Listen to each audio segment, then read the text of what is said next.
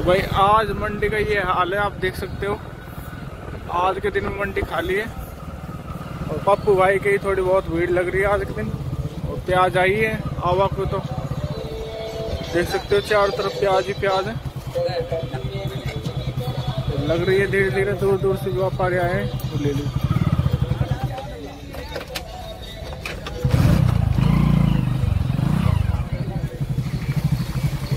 चलो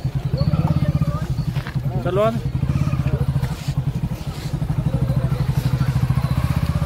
वही देख सकते हो आज की क्या जो कि आवक है खूब आराम से।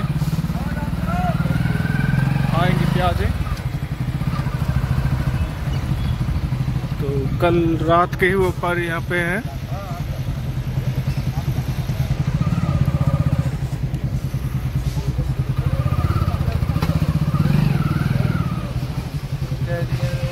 आज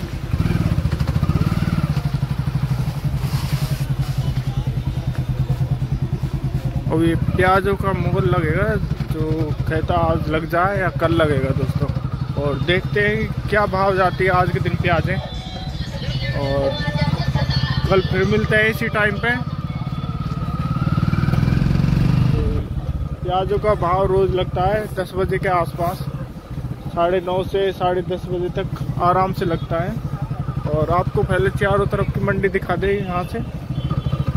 मंडी के चारों तरफ़ दिखा दे आपको, कैसा कैसा नज़ारा है क्या क्या होता है यहाँ पे रोज। और यहाँ पे घूमने के बाद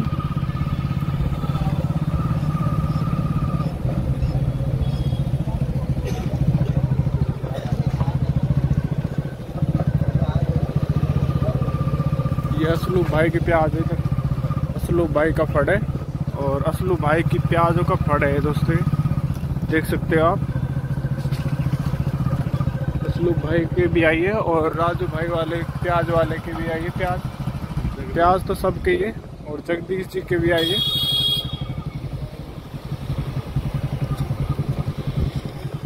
आसाराम भाई के भी है। सबके पास प्याज आई है दोस्तों। देख सकते हो, प्याज ही प्याज है।